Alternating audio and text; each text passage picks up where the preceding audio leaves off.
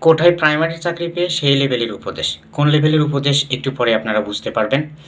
তো আমাদের, আমি প্রথমেই বলছি, এই বিষয়টা শেয়ার করছি জাস্ট একটু পার্থক্যটা বোঝানোর জন্য। যারা কোটার মাধ্যমে চাকরি পেয়েছেন, তারা যদি মন খারাপ করেন, কোনো কিছু করার নেই। তবে বাস্তবতাটা আমি একটু শেয়ার করছি। তো যাই হোক আমাদের গ্রামে মোট তিনটা মানুষ প্রাইমারিতে টিকেছিল। তার মধ্যে একজনের চাকরি হয়েছে এবং দুজন মানুষের সাথে আমার ভালো কানেক্টিং ছিল। তার মধ্যে এই দুজনের মধ্যে একজন ছিল সাধারণ প্রার্থী এবং একজন ছিল কোঠাধারী। তো এই কোঠাধারীর সাথে আমার তেমনটা একটা সম্পর্ক ছিল না, তবে যে সাধারণ প্রার্থী তার সাথে আমার ভালো সম্পর্ক ছিল। তো তার সাথে প্রিলিমিনারি রেজাল্টের পরে কথা হয়। যে, ভাই, আপনি কত স্কোর পেয়েছিলেন? এরকম একটা কথা হয়। তো বলতেছে, আমাদের গ্রামে তিনজন মানুষ টিকেছে, অমক কত নম্বর পেয়েছে, তমক এত নম্বর পেয়েছে। যাই হোক, বিষয়টা আমি বলছি। পরে প্রিলিমিনারির রেজাল্টের পরে মাঝে মাঝে কথা হইতো যে, ভাই চূড়ান্ত রেজাল্ট কবে দেবে? বা এই কাগজপাতি জমা মানে বিভিন্ন সংক্রান্ত বিষয় নিয়ে কথাবার্তা হতো। তো যখন ভাই বা পরীক্ষা শেষ হয়ে যায়, তখন বারবার নক করতো, ভাই প্রিলিমিনারি আপনার চূড়ান্ত রেজাল্ট কবে দেবে, চূড়ান্ত রেজাল্ট কবে দেবে? পরে চূড়ান্ত রেজাল্ট দিয়ে দিছে। যাই হোক চূড়ান্ত রেজাল্ট দেওয়ার অনেক দিন পরে আমি বাসায় গেছি। বাসায় যাওয়ার পরে বাজারে গেছি এবং বাজারে তাদের সাথে আমার দেখা হয়েছে। প্রথমত একজনের সাথে দেখা হলো যে, ওই যে সাধারণ প্রার্থী আছে, ওই ওর সাথে দেখা হয়েছে। দেখা হওয়ার পরে আমি জিজ্ঞেস করতেছি কি খবর তোমার? তো তো লজ্জা করে বলতেছে, ভাই, আমার তো চাকরিটা হয় নাই। তো বললাম যে, তোমার স্কোর কত ছিল? তো বলতেছে যে, সাতান্ন আটান্ন স্কোর এইরকম পাবো আমি। এবং কারেন্ট অ্যাফেয়ার্সের সাথেও মিলাইছি, এরকমই আসে। তো আল্লাহর কি কাজ? এই কথাবার্তা বলতে বলতে ওই কোঠাধারী ওই ছেলেটা চলে আসছে। তো বলতেছে, ভালো আছেন ভাই? বললাম হ্যাঁ ভালো আছি। বলতেছে, ভাই, আসলে অনেক ব্যস্ততার মাধ্যমে আপনার সাথে কথা বলা হয় নাই পরে আর। তো বললাম আসা এইটা বিষয় না। তো বললাম, তোমার খবর কি? তো বলতেছে, ভাই, আমার তো চাকরি হয়েছে। চলেন বাজারে আসছেন, মিষ্টি খান। তো বললাম, না, মিষ্টি খাওয়া লাগবে না, বলছো এটাই অনেক কিছু।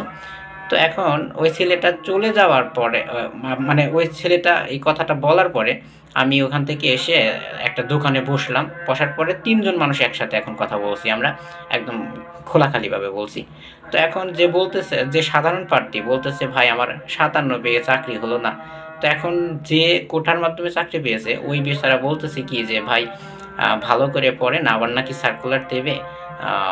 কম স্কোর ছিল হয়তো বা এই কারণে হয় নাই। হয়ে যাবে ইনশাল্লাহ ভালো করে পড়াশোনা করেন। এই কথাবার্তা বলার পরে কোঠাদারি যে ছেলেটা, ওই ছেলেটা আমার কাছ থেকে চলে গেল। পরে আমি তাকে জিজ্ঞেস করছিলাম, ওর স্কোর কত ছিল? তো বলতেছে, ওর সাথে আমি পরীক্ষার প্রিলিমিনারির পরে মিলাইছিলাম, ওর নাকি ছয়চল্লিশ সাতচল্লিশটা হবে।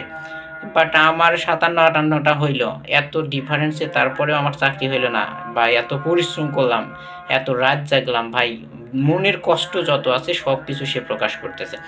এখন এই যে যারা কম স্কোর পায়া, চাকরি পাইছে কোঠার মাধ্যমে, তারা এখন যারা সর্বোচ্চ স্কোর পেয়ে ষোলো, সতেরো, পনেরো নাম্বার পর্যন্ত কম বেশি তারপরেও হাই স্কোর পেয়ে যারা চাকরি পাচ্ছে না, তাদের মনের দুঃখের কথা কত কঠিনভাবে যে তারা বর্ণনা করে ভাই, এটা যদি আপনারা শুনতেন বা এরকম কাছের মানুষ হতেন, তাহলে এই বিষয়গুলো বুঝতে পারতেন।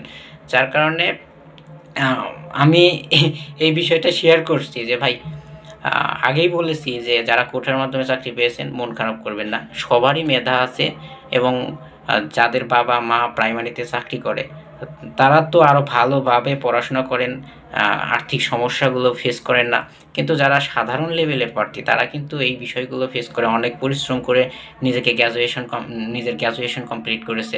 এভরিথিং মিলে অনেক কষ্টের মধ্যে তাদের দিন কাটে। কিন্তু যারা সরকারি চাকরি করে তাদের ছেলেমেয়েরা যেভাবে বড় হয়, মানুষ হয়, সেই, তাদের পরিবেশের সাথে কিন্তু সাধারণ একটা প্রার্থীর সাথে যায় না। এইখানে অনেক কিছু বলার আছে। তারপরেও বলছি না, এটা নিজের একটা প্রেস্টিসের বিষয়। কোনো কিছু বলার নেই, একদম থ হয়ে গেলাম। আজ এ পর্যন্তই, ভালো থাকবেন, সুস্থ থাকবেন। ধন্যবাদ সবাইকে।